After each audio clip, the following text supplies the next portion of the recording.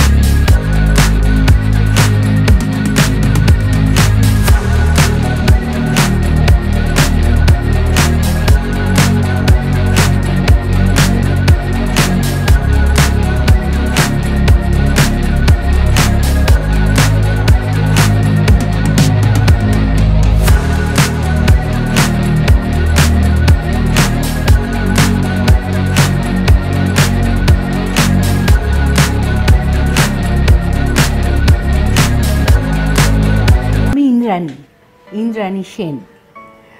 আমার আরও দুটো নাম আছে। এক হচ্ছে ছোটোবেলায় বাবা মা আমার মামার বাড়ির দিকে সবাই আদর করে ডাকতেন, বাবলি।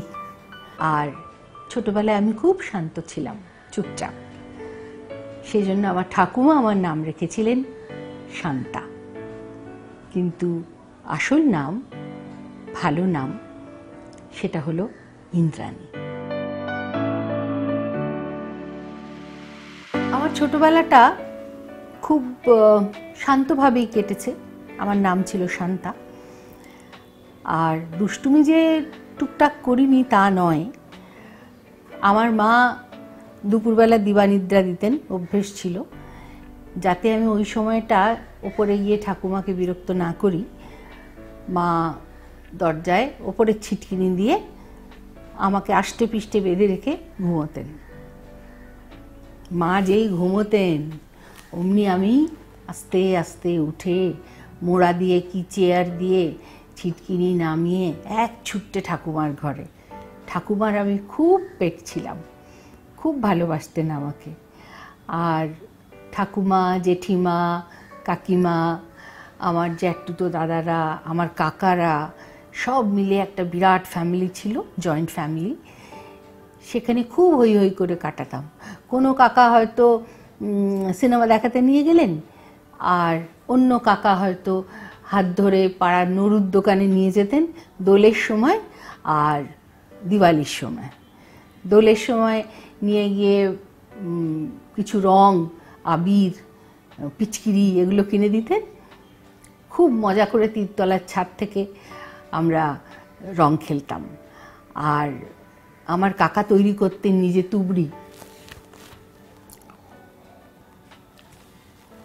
তো সেই তুবড়ি দিয়ে আমরা সবসময় কাকার পেছনে লেগে থাকতাম।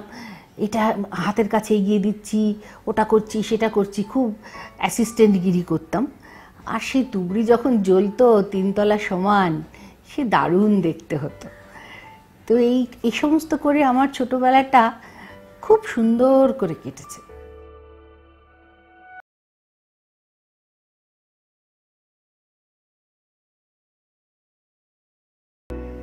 তারপর একটু বড় হয়ে আমি যখন ক্লাস ফোরে পড়ি হোলি চাইল্ডে, তখন বাবা মা সাউথে চলে এলেন। দুঃখ একটু হয়েছিল ঠিক কথাই। সবাইকে ছেড়ে আসা, কিন্তু নতুন জায়গা, নতুন স্কুল, গোখেলে এসে ভর্তি হলাম। আমার মনে আছে, গোখেল স্কুলে যখন অ্যাডমিশন টেস্ট দিচ্ছি ক্লাস ফোরে, আমার সঙ্গে আরেকটি মেয়েও এসেছিল। সেও পড়াশোনায় খুব ভালো ছিল। তো বাংলা, ইংরেজি আর অঙ্ক। এই তিনটে সাবজেক্টে পরীক্ষা দিতে হবে। তো বাংলা একটা বানান, আমার এখনও মনে আছে, উদ্ধৃত। বিদ্যাসাগরের একটা ছোট্ট পিস থেকে ডিকটেশন নিতে হবে, উদ্ধৃত। উদ্ধৃত বানানটা ওর আসছিল না। তখন আমি চুপি চুপি ওকে বলে দিলাম। তারপরে একটা অঙ্কে ঝামেলা হলো, সেটা আবার ও আমাকে উত্তরটা বলে দিল। ব্যাস, এমনি করে শোধবোধ হয়ে গেল। ক্লাস ফোরে ভর্তি হয়ে গেলাম গোখেল।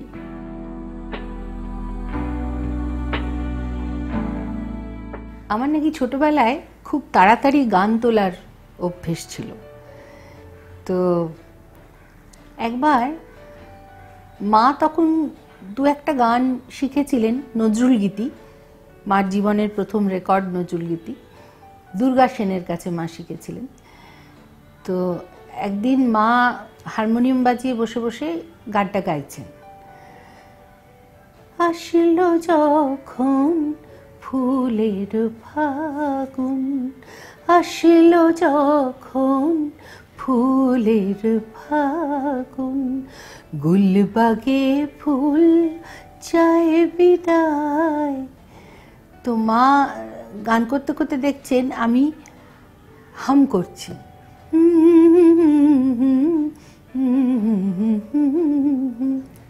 মা আস্তে আস্তে থেমে গেলেন। বাবা বসে সামনে। আমি গানটা করতে থাকলাম। এমন দিনে বন্ধু কেন? এরকম করে করতে করতে যখন শেষ করেছি, দেখি মাও কাঁদছে, বাবাও কাঁদছে। আমি মা, কাঁদছো কেন? বলছে যে না, তুই কি করে এত তাড়াতাড়ি তুলে দিলি গানটা?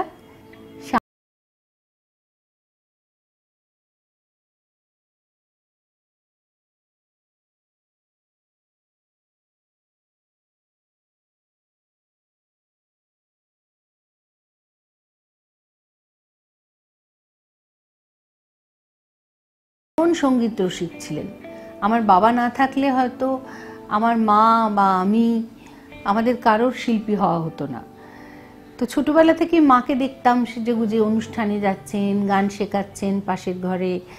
এরকম করে করে আমারও ছোটবেলা থেকে ধারণা হলো যে আমি হয়তো বড় হয়ে গানই করব। আর গানের প্রতি একটা আকর্ষণ ছিল। হারমোনিয়াম, আমার নিজের গলায় কোনো গান উঠলে সঙ্গে সঙ্গে হারমোনিয়ামে কি করে উঠে যেত আমি জানি না। এটা হয়তো ঈশ্বরের আশীর্বাদ। প্রথম গান করা বছর পাঁচেক হবে। তখন রবীন্দ্র কাননে একটা বিরাট বড় রবীন্দ্র জয়ন্তী হতো প্রতি বছর। তার মধ্যে একদিন নির্দিষ্ট করা থাকতো ছোটদের জন্য। সেখানে আমাকে গান করতে বলা হলো। সেইখানে আমার প্রথম গান মা হারমোনিয়াম বাজাচ্ছেন আর আমি গাইছি।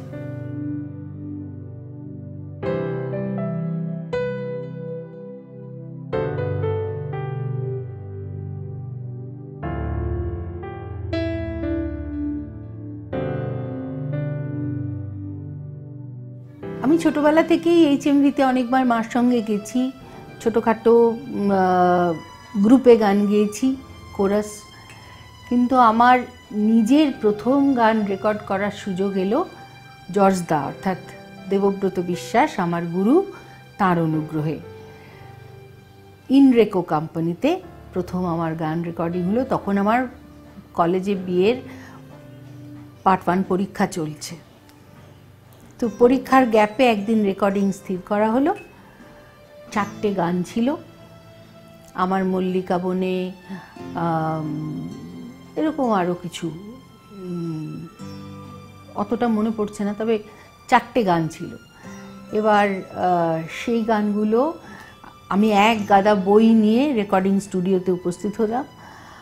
আর ভি বালসারা ছিলেন অ্যারেঞ্জার উনি বললেন, তুমি গান একবার করে পাশের ঘরে বসে বই পড়ো। আবার কিছুক্ষণ বাদে আমি যখন ডাকবো, তখন আসবে। এরকম করে আমার জীবনের প্রথম গান রেকর্ডিং হলো।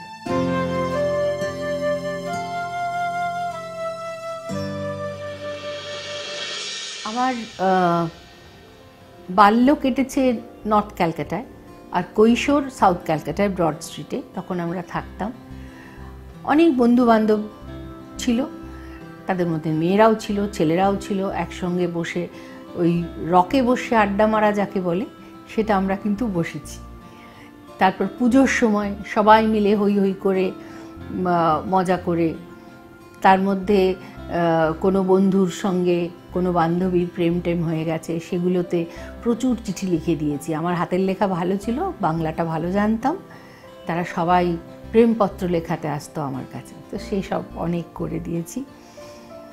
তারপরে যখন কলেজে প্রথম ঢুকলাম হাই সেকেন্ডারি পাশ করে লেডি ব্রেবন কলেজে ঢুকলাম, তখন উল্টো দিকে, কলেজের উল্টো দিকে বিরাট বড় পার্ক সার্কাস ময়দান। তো তার মধ্যে আমার বন্ধুদের মধ্যে যারা একটু প্রেম টেম করতো, তাদের বলা হতো যে, গেটের সামনে দাঁড়াও, তোমার বয়ফ্রেন্ডকে আসতে বলো, আমরা তোমাকে পারমিশন দেব। তো এরম করে সব বন্ধুদের প্রেম খুব দেখেছি, খুব এনজয় করেছি।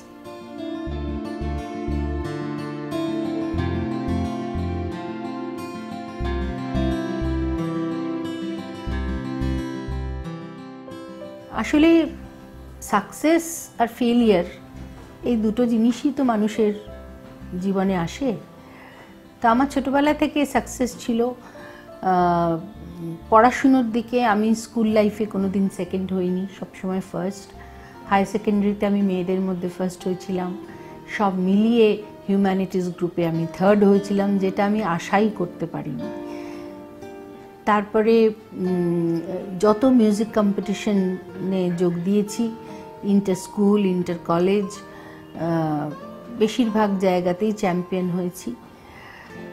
এইগুলো তো সাকসেস বলাই যায়। আবার বিয়ে পরীক্ষার মাঝখানে আমার বিয়ে হলো তারপরে আমার মেয়ে হলো সেই সময়টা আমার বিয়ে পরীক্ষার রেজাল্টটা অতটা ভালো হয়নি, সেইটা একটু আমার মনে এখনও সেই দুঃখ রয়ে গেছে। কিন্তু পাঁচ মাস বয়সের মেয়েকে নিয়ে আমি এমএ পরীক্ষা দিয়েছিলাম, সেখানে ফার্স্ট ক্লাস ছিল। সেটা একটা সাকসেস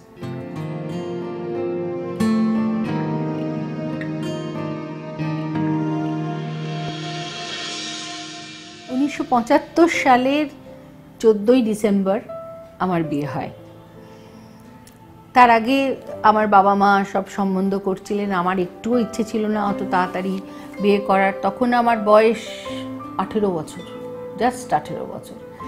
তো মা বললেন যে না, তাড়াতাড়ি বিয়ে দিয়ে দেওয়াই ভালো, কারণ তুমি যদি আবার প্রেসিডেন্সিতে পড়ো, সেখানে কোন দাড়িওয়ালা ঝোলা কাঁধে ছেলের প্রেমে পড়বে, সে আমি পছন্দ করব না। তো সেই জন্য তাড়াতাড়ি বিয়ে হলো, আমার শ্বশুরমশাই তখন ছিলেন না। অ্যারেঞ্জ করেই বিয়ে হলো।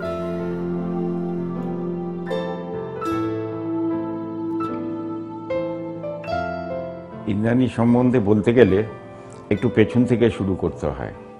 আমি বেসিক্যালি প্রবাসী বাঙালি। আমার বাবা মিলিটারিতে ডাক্তার ছিলেন। কর্মসূত্রে আমি ভারতবর্ষের বিভিন্ন ক্যান্টনমেন্টে থেকে পড়াশোনা এবং মানুষ হয়েছি। এবং আমার কলকাতায় আসার কোনো ইচ্ছেই ছিল না।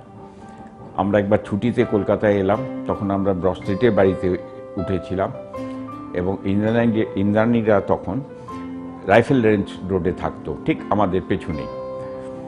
তো সেখানে আমার বাবা খুব রবীন্দ্রসঙ্গীত শুনতে ভালোবাসতেন। এবং সুমিত্রা সেনের খুব ভক্ত ছিলেন। যদিও উনি মিলিটারিতে ছিলেন, কিন্তু উনি রবীন্দ্রসঙ্গীত সম্বন্ধে ওনার ভীষণ জ্ঞান ধারণা ছিল এবং বাবার খুব পছন্দ হয় ইন্দ্রাণীকে দেখে।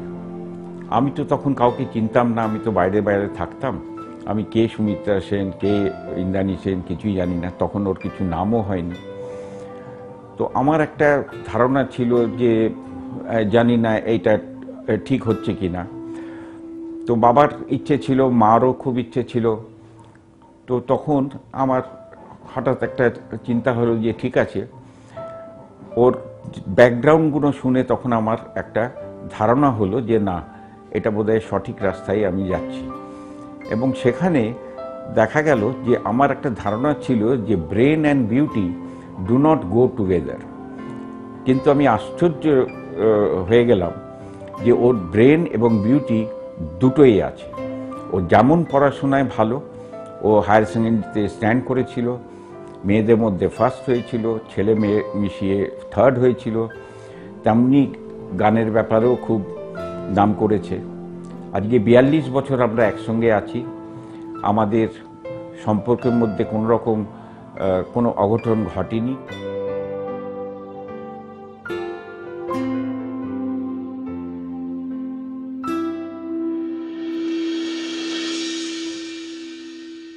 আজকে জানো তো শরীরটা একদম ভালো লাগছে না। সকাল থেকে মাথাটা টিপটিপ করছে। কলেজে নিশ্চয়ই কিছু খাওনি? কখন আর খাব? ব্রেকফাস্ট তো খেয়ে যাও না কলেজেও খাও না। আরে অন্যদিন কলেজে খাই আজকে পর পর তিন চারটে ক্লাস ছিল এখন খাব কি করে? আরে ঠিক আছে তা থাকলেও একটু সময় করে তো নিজের শরীরটার দিকেও তো যত্ন রাখতে হবে। আচ্ছা তোমার খাওয়া হয়েছে কি? আমি কি করে খাব? তুমি খাওনি তো আমি কি করে খাব? আমিও তো বসে আছি। আচ্ছা চলো আমি খাবার লাগাচ্ছি। চলো।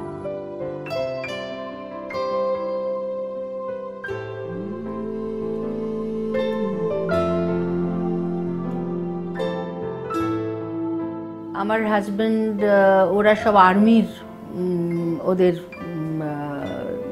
পুরো বাবার থেকে সবাই আর্মি বাবা দাদা। যেদিকটা আমার একেবারে জানা ছিল না। ওদের সব সব কিছু একটু সাহেবি কায়দা ছিল, সেগুলো অবশ্য তুলে নিয়েছিলাম। আর আমার হাজব্যান্ড আমার শাশুড়ি, আমার ভাসুর যা, তারা সবাই খুব সুন্দর করে আমাকে অ্যাকসেপ্ট করেছিলেন। আর সবাই খুব ভালোবাসতেন, শাশুড়ি তো খুবই ভালোবাসতেন। ইন্দ্রাণীর অনেক রকমের পরিচয় আছে। তার মধ্যে আমাদের কাছে পরিচয়টা একটু বিশেষত্ব এটাই যে ইন্দ্রাণী আমাদের বাড়ির বউ। এবং শুধু বউ নয়, অত্যন্ত প্রিয় আমাদের একজন কন্যাসম্য আমাদের। তার সামাজিকতা, তার দায়িত্ববোধ, সবার সম্বন্ধে তার যে চিন্তা, ভাবনা, সচেতনতা, এগুলো আমাদের কাছে খুব ঈর্ষা উদ্রেক করার মতন ব্যাপার। এত ব্যস্ততার মধ্যে আমরা সবাই জানি, ইন্দ্রাণী একজন অধ্যাপিকা, ইন্দ্রাণী একজন গুণী শিল্পী ইন্দ্রাণী নানান জায়গায় তার অনুষ্ঠান নিয়ে ব্যস্ত থাকে। তার মধ্যেও কিন্তু শ্বশুরবাড়ি বা আত্মীয় স্বজন সবার সম্বন্ধে খোঁজখবর রাখা, তাদের সঙ্গে যোগাযোগ রাখা বা তাদের ভালো মন্দে পাশে দাঁড়ানো, এটা কিন্তু ইন্দ্রাণীর একটা মস্ত গুণ। এবং এই গুণ থাকার দরুনই হয়তো ইন্দ্রাণী আমাদের শ্বশুরবাড়িতে সকলের প্রিয় হয়ে উঠতে পেরেছে। আরেকটা কথা যেটা সব থেকে ইম্পর্টেন্ট জিনিস যে ওর মধ্যে আমি দেখেছি ওই বয়সে, কেন ওর যখন আঠেরো বছর বয়স তখন আমাদের বিয়ে হয় এবং ওর মধ্যে একটা compromise sacrifice adjustment and commitment এই চারটে জিনিসই পেয়েছি। ও শুধু আমার সংসারকে ধরে রাখেনি, ওর এত ব্যস্ততার মধ্যে, ও আমার মেয়েকে মানুষ করেছে, ও আমার মাকে দেখেছে, আমার মা বলতেন সবসময় যে আমার ছেলের থেকে আমার বৌমা ভালো। আজকালকার প্রজন্মে এই জিনিসটা দেখা যায় না। কিন্তু ওর মধ্যে এত নাম, ও তো নাও করতে পারতো, কিন্তু ও করেছে।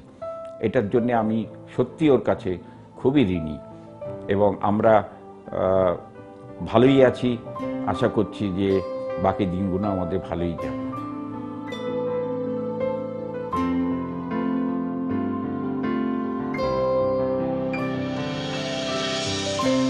যে শুনছো? মঞ্জুরি থেকে তোমাকে একটা প্যাকেট দিয়ে গেছে। মঞ্জুরি থেকে? বাহ! বাবা রে আমি ভাবছিলাম কবে আসবে। বিশ্ব! কাপ চা দাও না। বারে কি সুন্দর দেখো। ঠিক আমি যেরকম বলেছিলাম সেরকম করেছে। বাহ! হবে না এরা তো একমাত্র ট্রাভেলিং বুটিক বাড়ি এসে সব ডেলিভারি দিয়ে চলে যায়। বাহ তাহলে তো আমারও কিছু জিনিস অর্ডার দেওয়া যায়। অমনি আমারও কিছু জিনিস অর্ডার দেওয়া যায়। কেন রে বাপু?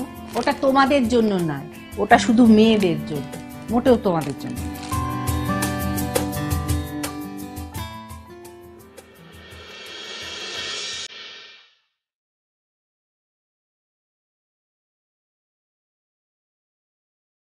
আমি ছোটবেলা থেকেই দেখে এসেছি আমার মাকে। আমার মা অসম্ভব সোশ্যাল ছিলেন। বাপের বাড়ি এবং শ্বশুর বাড়ি সবার সঙ্গে একটা সুন্দর রিলেশন মেনটেন করে গেছেন সারা জীবন এখনও যার জন্য মা ভীষণ প্রিয় বৌমা ছিলেন বাড়ি তো সেই জিনিসটা আমার মায়ের থেকে পাওয়া।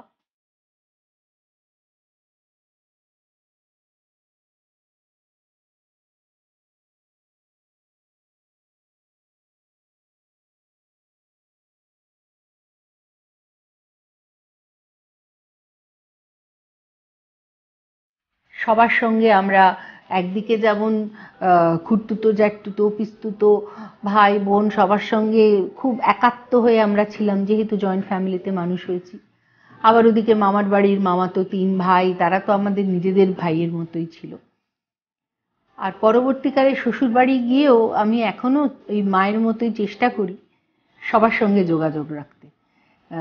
এই একটু ফোন অন্তত একটু এস এম এস মাঝে মধ্যে দেখা করা এইগুলো আমি একটু মেনটেন করি। আজকে ইন্দ্রাণীর কথা বলতে গেলে অনেক কথাই মনে আসছে, আবার অনেক কথাও ভুলে যাই। বয়সের ভারে এখন আর সব কথা মনে করতে পারি না। তাও মনে হয় যেন এই সেদিনও জন্মালো। অনেকদিন পরে আমাদের বাড়িতে, শ্বশুরবাড়িতে বাচ্চা হলো। কাজে সবাই খুব খুশি। সকলের আদরের মনি, এর কোল থেকে তার কোল তার কোল থেকে আমার কোল, এরম করে সারাদিন কাটে ওর। মানে মাটিতে পা পড়ে না আর কি। ঠাকুমা, দাদু, কাকা, কাকিমা, জ্যাঠা, জেঠি, সকলের নয়নের মনি। এইভাবে আস্তে আস্তে বেড়ে উঠল।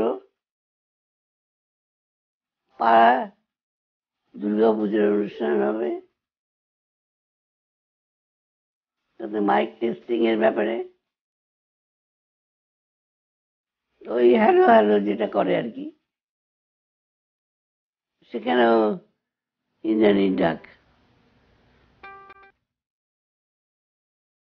ওখানে গিয়ে ওই করতে করতে পুজোর সময় বলল, মাসিমা, ও কিন্তু গাইবেই আমাদের ওখানে। আমি, সে কি কখনো গাইনি বাইরে? বলে না। ওর একটা গুণ ছিল কি, সিনেমা হল থেকে কিংবা রেডিও থেকে, যেখানে থেকেই গান করুক, গান শুনুক, ও বাড়ি এসে হুবহু সেরকম গিয়ে দিত।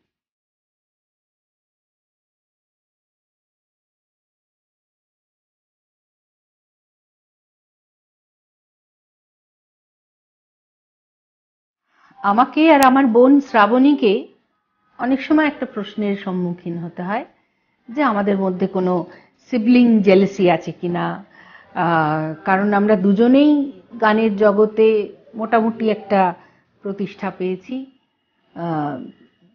সেই জন্য এই প্রশ্নটা মাঝে মাঝেই আমাদের দিকে উড়ে আসে। তবে আগেভাগেই বলে দিই যে আমাদের মধ্যে কোনো কম্পিটিশন নেই। ও ওর জায়গায় একটা বিরাট ভূমিকা পালন করে। আর আমি আছি আমার জায়গায়। দিদিভাইয়ের সম্বন্ধে বলা আমার পক্ষে খুব কঠিন। তবুও বলি যে আমার সঙ্গে দিদির বয়সের ডিফারেন্স হচ্ছে ন বছর।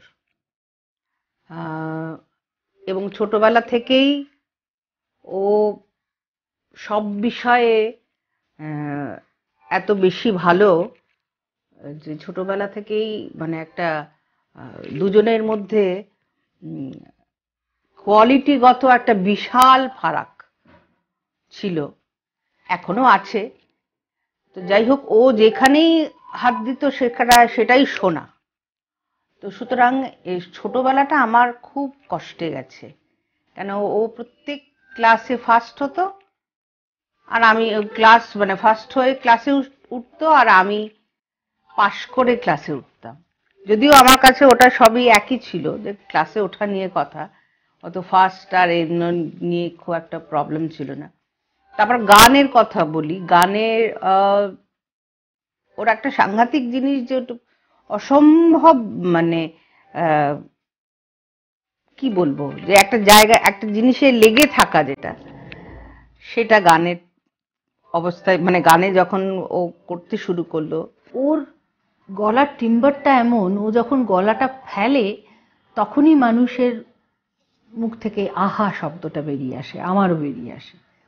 ওর সাংঘাতিক প্রাণশক্তি মানে আমাদের বাড়ির মধ্যে সব থেকে এবং বাড়ির যদি খুব স্ট্রং সব থেকে স্ট্রংগেস্ট কেউ যদি থাকে সেটা হচ্ছে দিদিভাই আমরা নিজেরা মজা করি অনেক সময় যে, কিরে, তোর এই সপ্তাহে কটা শো? ও হয়তো বলল, এই পাঁচটা শো কি তিনটে শো? আমার হয়তো তখন নেই। আমি, ইস, তুই কতগুলো খাম পাবি রে? আবার আমার যখন বেশি হয়, তখন ও বলে "এ বাবা, তোর এতগুলো ফাংশন? এ কি রে, আমায় ডাকছে না কেন? এইরকম আমাদের দুজনের মধ্যে মজা চলতেই থাকে। আমাদের দুজনের সম্পর্কটা ভীষণ সুইট ভীষণ ঘরোয়া আর খুব ভালো।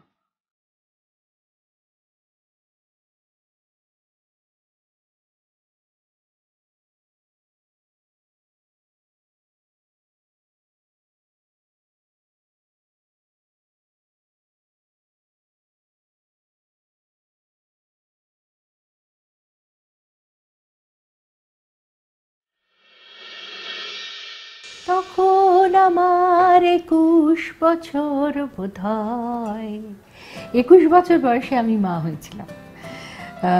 সেটা আজকালকার দিনে কেউ ভাবতেই পারবে না।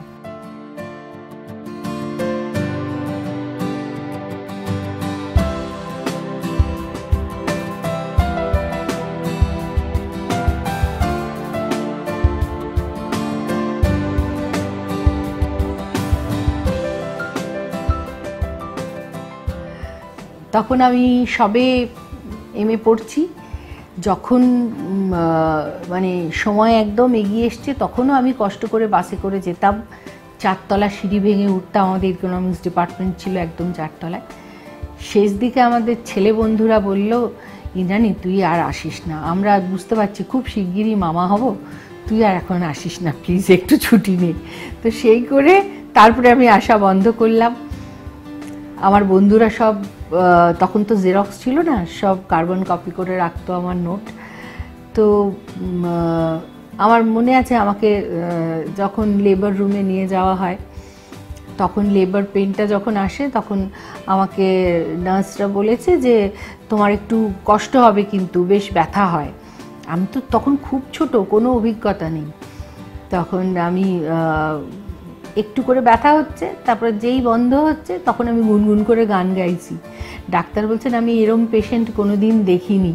যে মা হওয়ার সময় যে প্রচণ্ড লেবার পেন হয়, তার মধ্যে কি করে গান করে? আর আমি ভুলে থাকার জন্যই গান করছি। এরম করে একটা ফুটফুটে মেয়ের মা হয়ে গেলাম। তার নাম দিলাম রুক্মিণী। আমার নামের সঙ্গে মিলিয়ে রুক্মিণী। রুক্মিণী বললেও খুব রাগ করে। মটাকে বলতে হয় রুক্মিণী।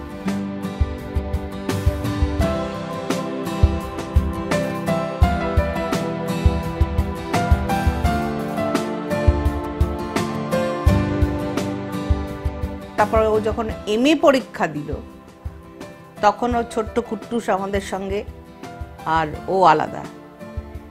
সেই আমরা ওকে, আমি আর বাবা ওকে যাদবপুর ইউনিভার্সিটিতে পরীক্ষা দেওয়াতে পৌঁছে দিতাম। আবার সেই দিনই ওর প্রথম রেকর্ডিং ইন্দ্রকো কোম্পানিতে। তো সেইখানে আমরা আবার টিফিন টিফিন নিয়ে গেলাম। সেখানে আবার ও গান করল। আমার ছোটবেলা থেকে স্বপ্ন ছিল যে আমি পড়াশোনায় খুব ভালো হব, করে কোনো একটা কলেজে পড়াবো স্কুলে না কলেজে কলেজেই পড়াবো, অধ্যাপনা করব, আর বিয়ে করব না।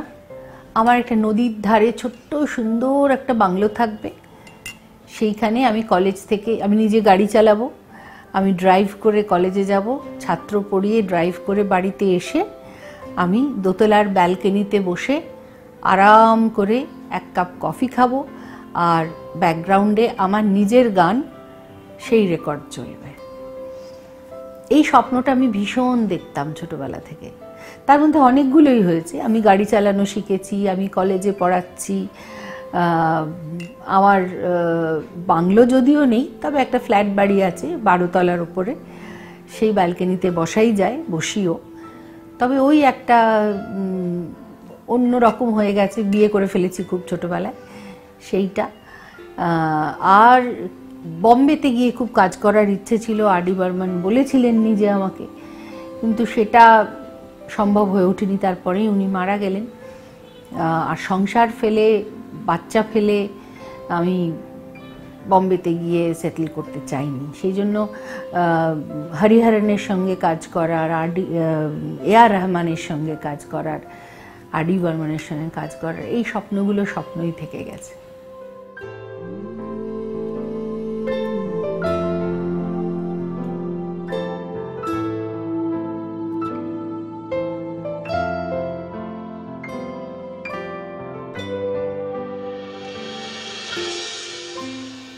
আমার জীবনের সবচেয়ে প্রিয় মানুষ আমার বাবা। কারণ বাবা নিজে গানের জগতের লোক না হয়েও যেভাবে সমস্ত রকম এফর্ট দিয়ে নিজের কেরিয়ার অনেক ক্ষেত্রে স্যাক্রিফাইস করে বাবা আমাকে এগিয়ে দিয়েছেন। বাবা আমাকে পড়াশুনোর জগতে, সংগীত জগতে প্রতিষ্ঠা পাওয়ার জন্য এগিয়ে দিয়েছেন। তার কোনো তুলনা হয় না। এরকম বাবা কজন মেয়ে পেয়েছে আমি জানি না।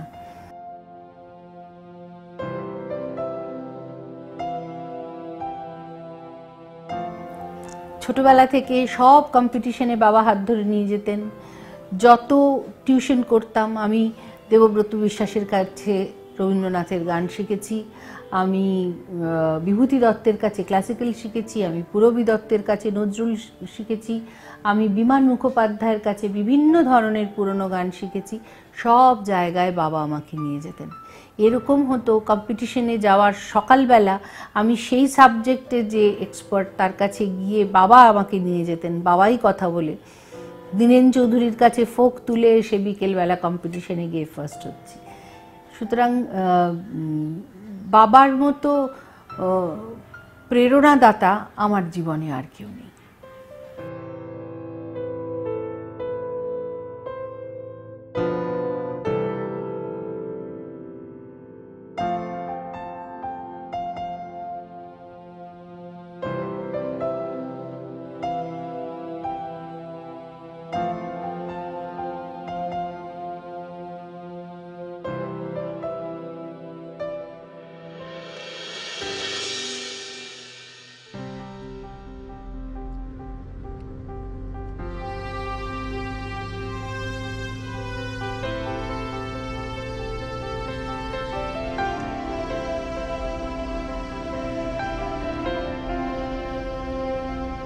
সবাই জানে আমার একমাত্র মেয়ে রুক্মিণী, কিন্তু আমার আরেকটা সন্তান আছে, সে হলো দিশা। দিশা কোনো মানুষ নয়। দিশা হলো আমার স্বপ্নের সন্তান, একটা ইনস্টিটিউট যেটা আমি গড়ে তুলেছি।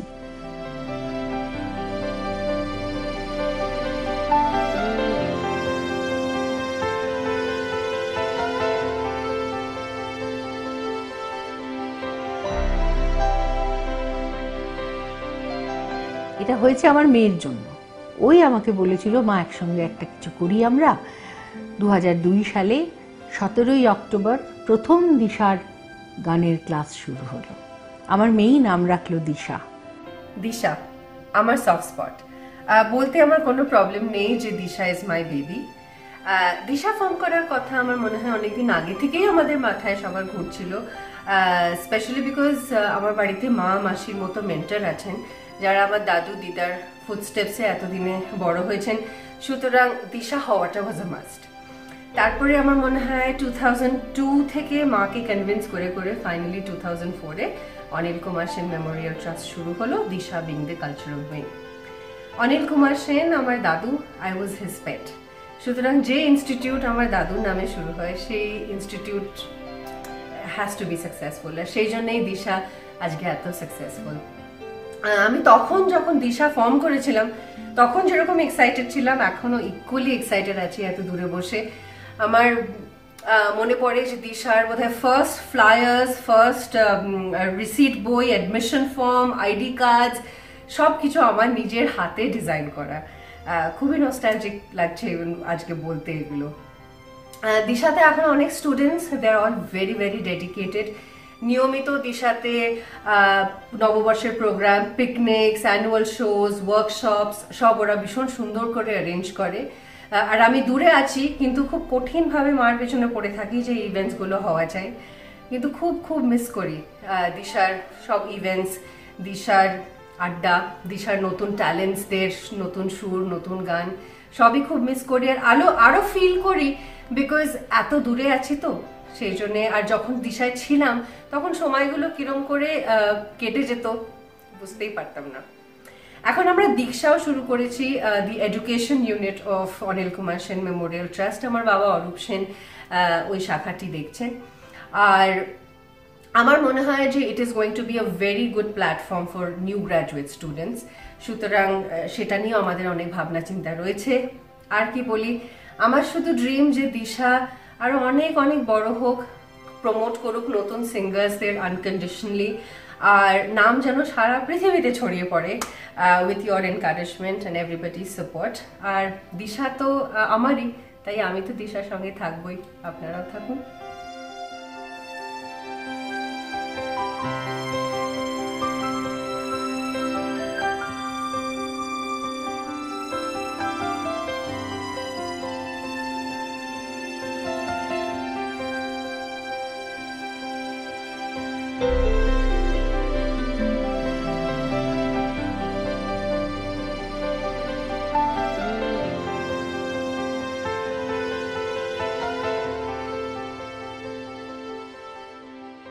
মূলত দিশা নিয়ে যদি বলতে হয় মানে দিশাটা আমার আর দিদির মেয়ে অর্থাৎ রুক্মিণীর হাতে তৈরি একসাথে দুজনে মিলে।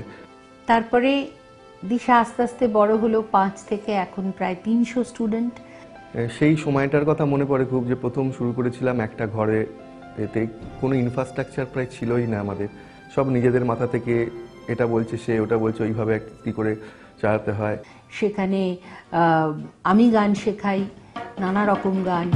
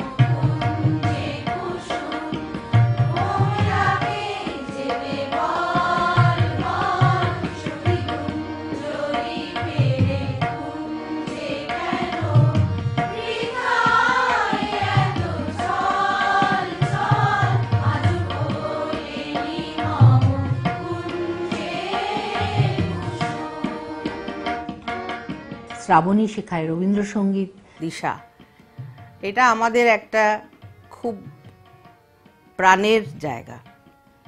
এখানে শুধুমাত্র যে গান শেখানো হয় তা নয়, এখানে সবাই এসে খাওয়া দাওয়া হই হুল্লোড় ওটা একটা জায়গা হয়েছে। এবং নতুন দিশার যে বাড়িটা আমাদের হয়েছে, সেটা একটা চমৎকার। ওখানে ঢুকলেই মনে হয় যে খুব একটা শান্তি পেলাম।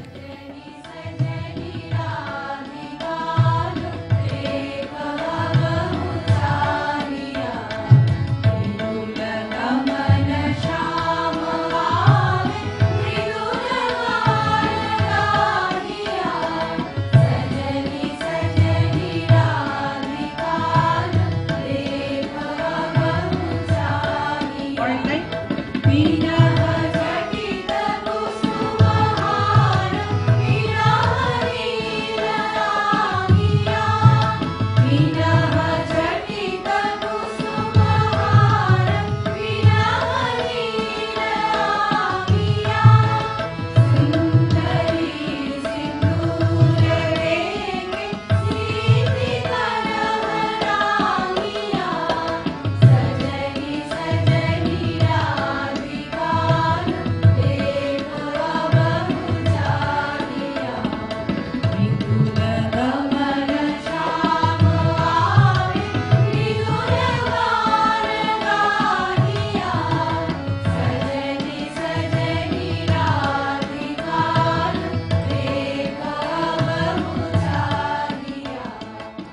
নিয়ে আমরা এগিয়ে চলছি। এখানে অনেকেই আছেন, শেখাচ্ছেন এবং এমনকি যারা স্টাফ যারা আছেন, যারা মানে গান শেখানো ছাড়া যারা আছেন, তারাও ভীষণ ইনভলভড এর মধ্যে। আমরা সবাই খুব ইনভলভড একটা অনুষ্ঠানের সময় সবাই মিলে ঝাঁপিয়ে পড়া যে অনুষ্ঠান করা, এইটা একটা খুব আনন্দের জায়গা এবং এর উত্তর উত্তর সাফল্য কামনা করি। আমরা যতদিন আছি, দিশা আছে, তারপরে পরবর্তী প্রজন্মের কাছে যাবে। আমরা বাড়ির সবাই মিলে চেষ্টা করি চেষ্টা করছি যে দিশাকে আর একটু এগিয়ে নিয়ে যেতে। বিশ্বজিৎ দাশগুপ্ত ও শেখায় নানা ধরনের গ্রুমিং বা ভয়েস ট্রেনিং ইন্দ্রানিদি আমাকে দিশাতে প্রবেশ করিয়েছে আমার খুব কাছের বন্ধু সৌরভ সৌরভ মিত্র আহ, এবং আহ, ইন্দ্রানিদি দুজনে মিলে আমাকে দিশাতে জয়েন করিয়েছে। দিশাতে আমি জয়েন করেছি সেটা দু হাজার সাত সাল।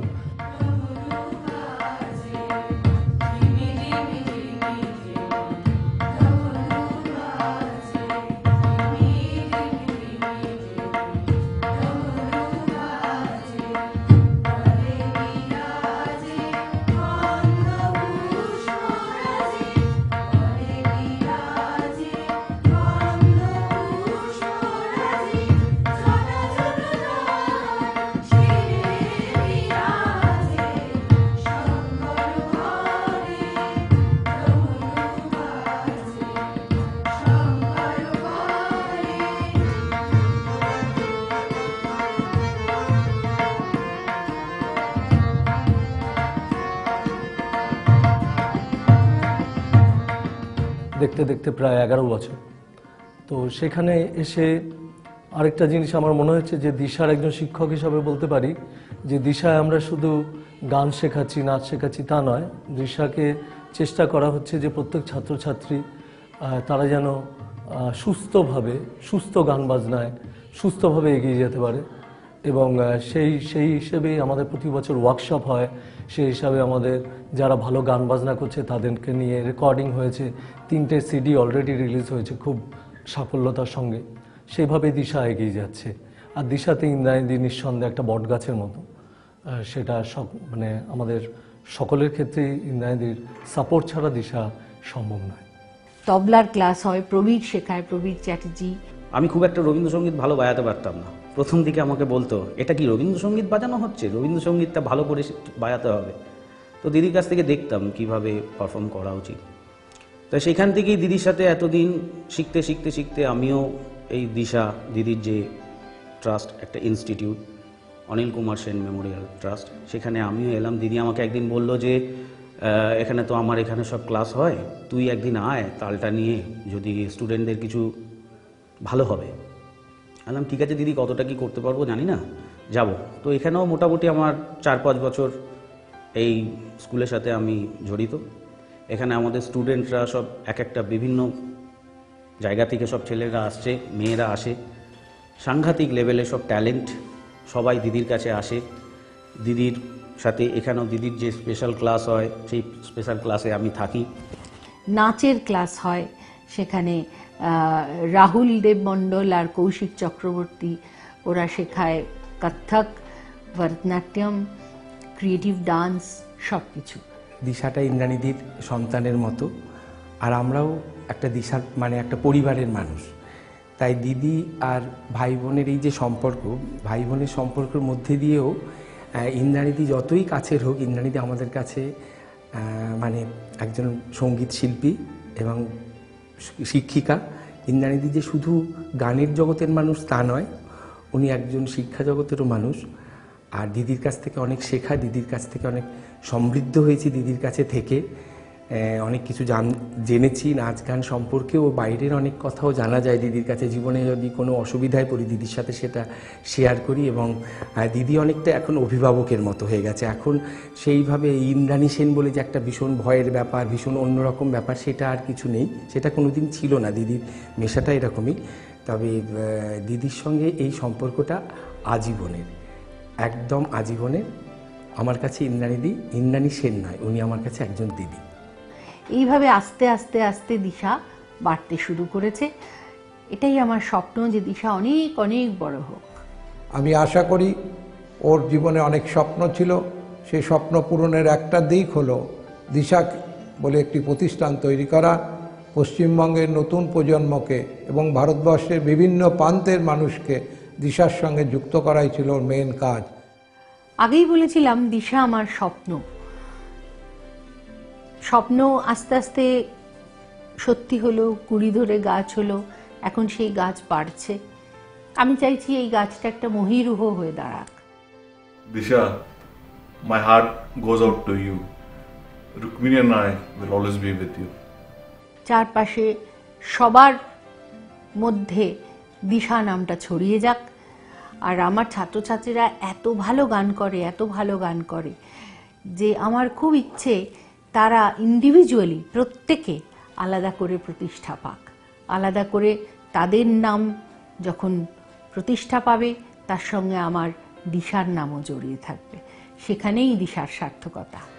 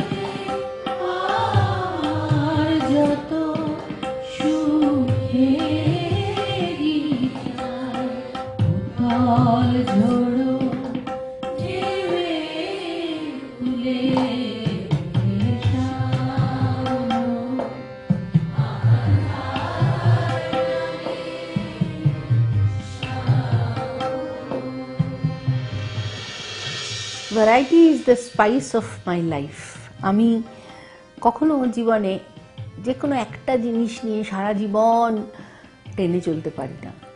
সেই জন্য আমার একদিকে পড়াশুনো, অধ্যাপনা, আরেকদিকে আমার গান।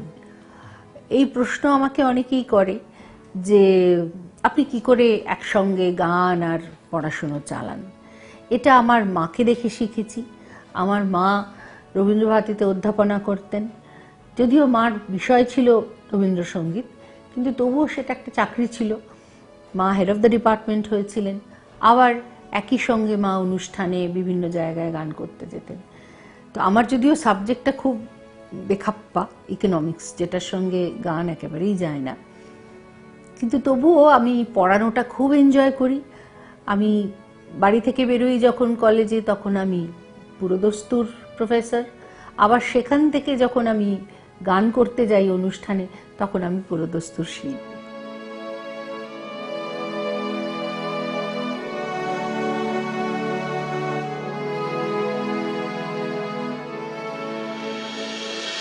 এবার এমন একটা ঘটনার কথা বলব, যে ঘটনাটা এতদিন আমার মনেই ছিল, কারোর সঙ্গে শেয়ার করিনি। এই প্রথম বলছি। আমি মালদা থেকে অনুষ্ঠান করে ফিরছি। সে অনুষ্ঠান দেখতে একটি ছেলে গেছে। সেও ফিরছে কলকাতায়। তার সঙ্গে ট্রেনের মধ্যে আলাপ হয়েছে।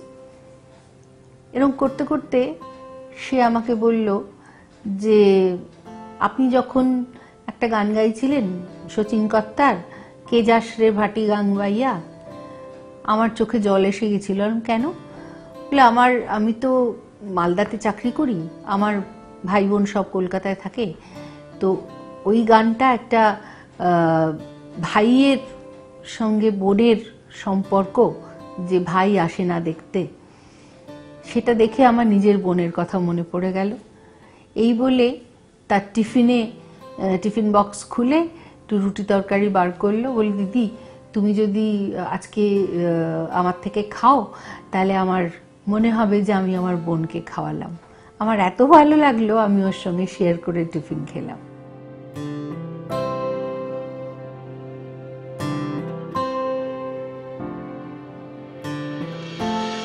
এমনিতে আমি খুব সোশ্যাল মানুষ। সবার সঙ্গে হই হই করে আড্ডা দিয়ে, বক বক করে সময় কাটাতে ভালোবাসি। কিন্তু এক একটা সময় হয়, আসে যখন মনে হয় আর কাউকে দরকার নেই, আমি একটু একা থাকি। কারণ আমার নেশা হচ্ছে বই পড়া, আমি ভীষণ বই পড়তে ভালোবাসি।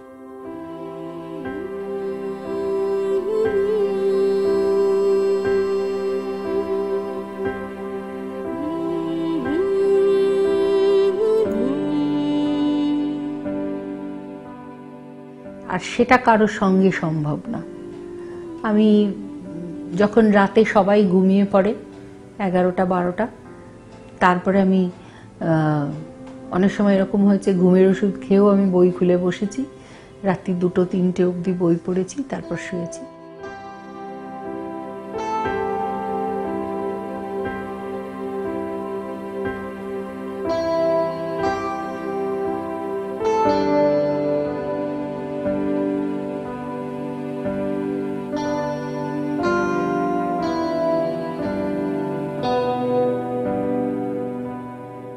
গান খুব একটা শোনা হয় না আমার।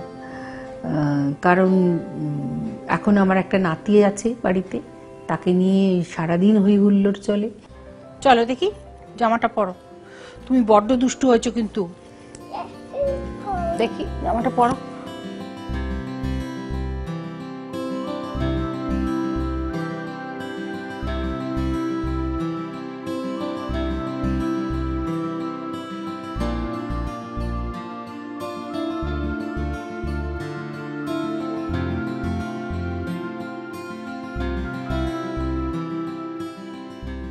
অনেক রাতে যখন একটু নিজের সঙ্গে দেখা হয় তখন মনে হয় একটু চুপ করে ভাবি, একটু নিজের কথা ভাবি, ভবিষ্যতের কথা, অতীতের কথা।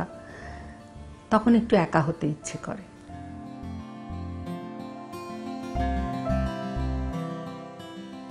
অভিমান টভিমান আমার খুব একটা হয় না। আমি এমনিতেই খুব হুল্লোড়বাজ। আর কারোর সঙ্গে যখনও, যখন কখনো যদি একটু মনোমালিন্য হয়, আমি ওই রাক্কল্লি ভাই রাক্কল্লি ভাই ন্যাড়ার মতো গিয়ে তার সঙ্গে ভাব করে নিই। চিরকাল আমার আর আমার কর্তার মধ্যে যতবার ঝগড়া হয়েছে, আমি সেদে সেদে গিয়ে ভাব করেছি। ও চুপ করে থাকতো। মেয়ের সঙ্গেও যে রাগারাগি হয়নি তা নয়, কিন্তু এখন আর হয় না। এখন তো ওরা বড় হয়ে গেছে, আগে খুব চটচাপড় খেত আমার কাছে। এখন বড় হয়ে গেছে, এখন ওকে দুঃখ দিয়ে কিছু বলি না। আর ও আমাকে দুঃখ দিয়ে কখনো কিছু বলে না। আমরা we are best of friends আর আমার বোন শ্রাবণীর সঙ্গে তো মনোমালিন্য কোনোদিন হয়েছে বলে আমার মনে পড়ে না। কারণ আমার বাবা বলতেন যে, তুমি তোর মাতৃসমা দিদি। কখনো কখনো হয়তো কারোর অ্যাকশনে বা কোনো কথায় আঘাত পেয়েছি। কিন্তু আমি কখনো তাকে বুঝতে দিইনি যে আমি একটু অভিমান হয়েছে বা একটু দুঃখ পেয়েছি। ওটা ভাবতে হয় যে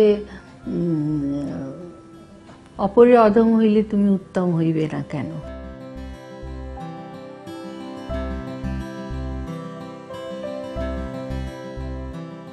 পঁয়তাল্লিশ বছরের ওপর হলো আমি গান করছি। বহু বছর হয়ে গেল এই সংগীত জগতে। আস্তে আস্তে অবসর নেওয়ার পালাও এগিয়ে আসবে আর কিছু বছরের মধ্যে। নতুন প্রজন্ম গান গাইছে, উঠে আসছে খুব তাড়াতাড়ি। তাদের বলব যে, গানটা পরে, আগে ব্যবহার, আগে মানুষ হওয়া। যদি ভালো মানুষ হতে পারো, তাহলে ভালো শিল্পী হবে। কিন্তু ভালো মানুষ না হলে ভালো শিল্পী হিসেবেও কেউ মনে রাখবে না। সুতরাং মানুষ হওয়াটা সবচেয়ে আগে দরকার।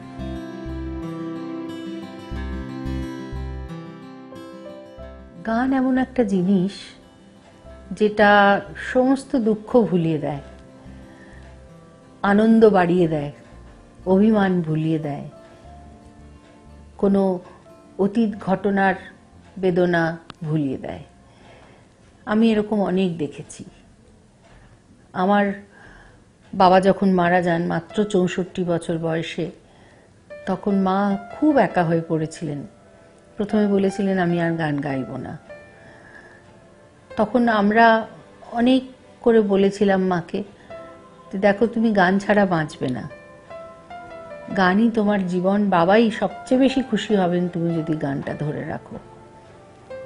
আস্তে আস্তে মা গান করতে শুরু করলেন, প্রথম প্রথম স্টেজে গান করতে উঠে বাবার কথা বলতেন, বলতে বলতে কেঁদে ফেলতেন, গলা ধরে আসতো।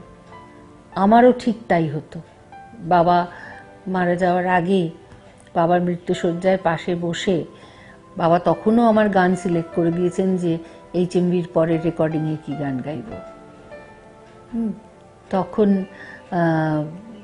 সেই অবস্থাও হতো আমার।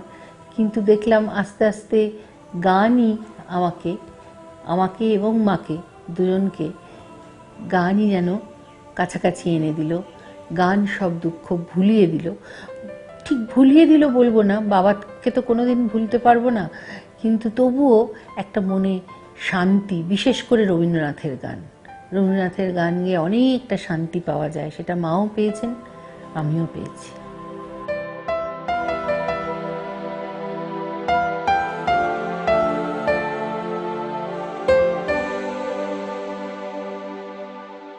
আমার জীবনে সবচেয়ে প্রিয় তিনটে মানুষ।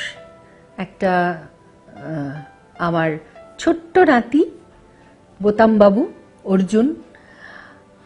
দ্বিতীয় আমার মেয়ে রুক্মিণী, তৃতীয় আমার স্বামী অরূপ। এই তিনজনকে নিয়ে আমি খুব আনন্দে থাকি। এদের বলি যে, তোমরা সবাই ভালো থাকো, তোমরা সুস্থ থাকো, তোমরা মানুষ হয়ে, ছোটদের বলি, তোমরা মানুষ হয়ে, বড় হয়ে দেশের দশের মুখ উজ্জ্বল করো। আমার মেয়ে এখন বিদেশে আছে তার কথা খুব ফিল করি, তার অভাব খুব বোধ করি।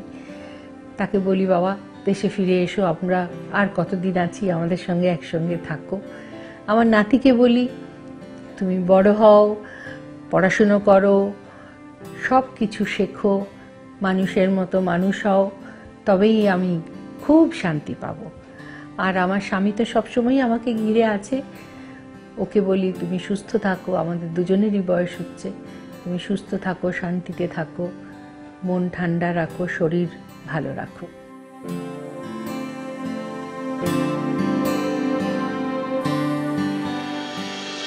আমার এত বছরের সংগীত জীবনে আমার পরিবার তো সবসময় আমার সঙ্গে থেকেছেন। আমার শাশুড়ি থেকেছেন, আমার স্বামী থেকেছে, আমার মেয়ে তো ভীষণভাবে আমাকে সাপোর্ট করেছে। এছাড়াও আর যাদের কথা না বললেই নয়, তারা হচ্ছে আমার মিউজিশিয়ানরা এত বছর, প্রায় চোদ্দ, পনেরো বছর ধরে এক একজন মিউজিশিয়ান আমার সঙ্গে আছে।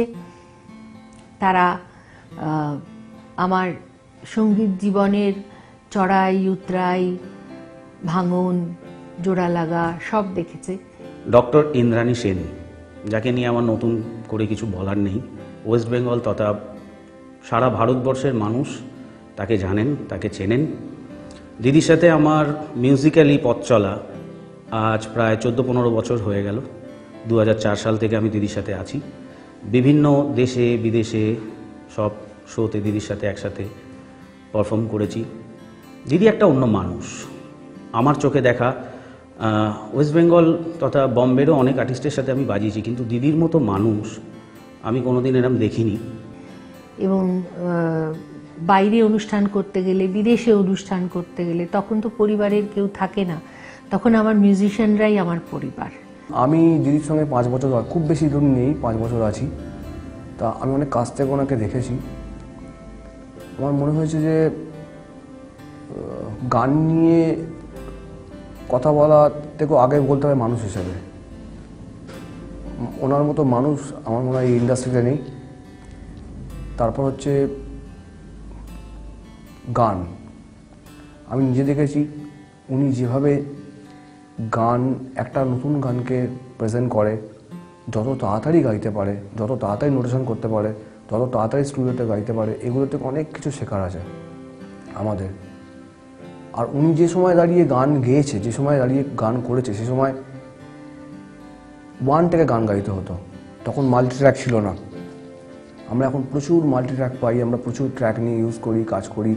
একবার না হলে পঞ্চাশ বার ধরে গান গাওয়াই, তখন ওয়ান থেকে গান গাওয়াতে হতো। গান গাইতে হতো। সেই সময় ওইরকম গান গেয়ে এসছে। তা আমার সেখানে আমি কি বলব? আমি তো আমার মানে আমি একজন মানে মিউজিশিয়ান হিসেবে ওনাকে শুধুমাত্র ওনার কাছ থেকে আশীর্বাদ পেতে পারি, আর কিছু না। আমরা জীবনের অর্ধেক অংশ হয় একসঙ্গে গাড়িতে চড়ে, নয় একসঙ্গে স্টেজে উঠে, নয় একসঙ্গে গল্প করতে করতে, খাওয়া দাওয়া করতে করতে কাটিয়েছি। সুতরাং ওরা আমার ভাইয়ের মতো, ছেলের মতো প্রবীর, পিন্টু, ডাকুদা, জয়ন্ত, ববি, এরা সবাই আমার সঙ্গে রয়েছে। আমার পথ চলায় ওদেরও পথ চলা চলছে। এইভাবেই আমরা যতদিন একসঙ্গে পারব থাকব।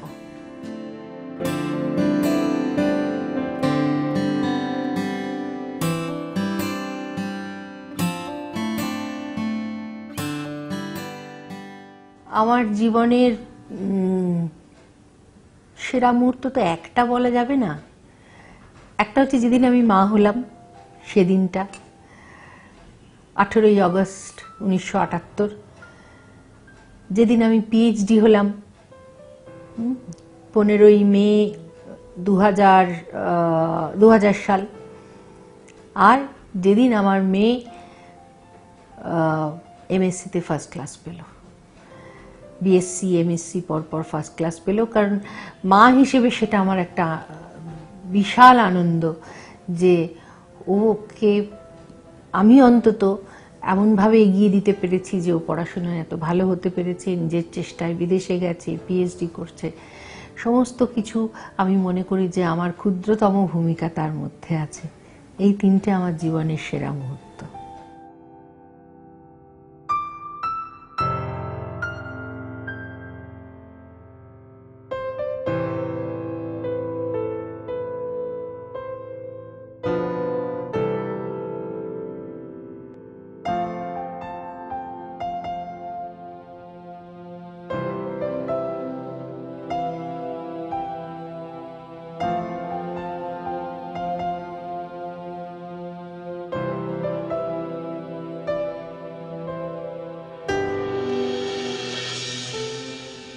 মোটামুটি আমার জীবন কাহিনী।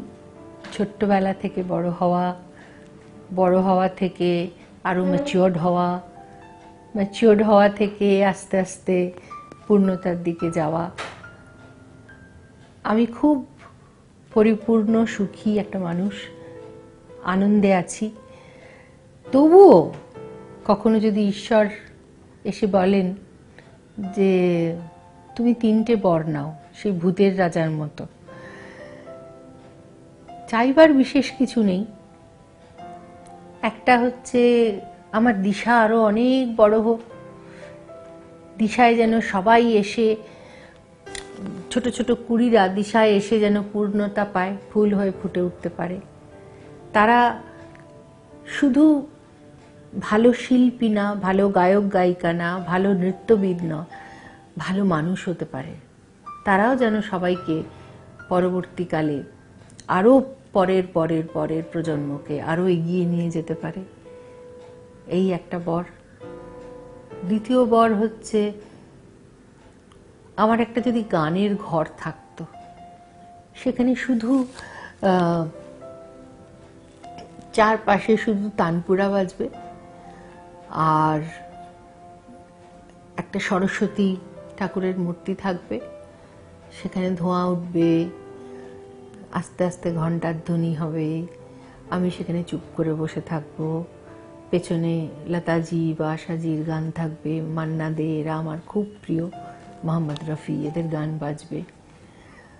আমি বসে থাকব। এরকম একটা ঘর যদি আমাকে ঈশ্বর দেন। আর তৃতীয় হলো, আমার খুব অভিনয় করার ইচ্ছে ছিল। এই জন্মে তো অভিনয়টা হলো না। এই জন্মে গান করতে করতেই আমার বয়স কেটে গেল। তো সামনের জন্মে আমি যেন একটা ভালো অভিনেত্রী হতে পারি, সেইটা আমার খুব শখ। তো দেবতা যদি আমাকে বর দেন, বলব সামনের জন্মে আমাকে খুব নাম করা একদম প্রতিষ্ঠা পাওয়া একজন ভালো অভিনেত্রী করে তৈরি করো, যে অনেক দিন ধরে অভিনয় করতে পারবে। আমি যদি ছেলে হই উত্তম কুমারের মতো, আমি যদি মেয়ে হই সুচিত্রা সেনের মতো, এরকম একটা যদি আমাকে ঠাকুর করে দেন, তাহলে খুব খুশি হব।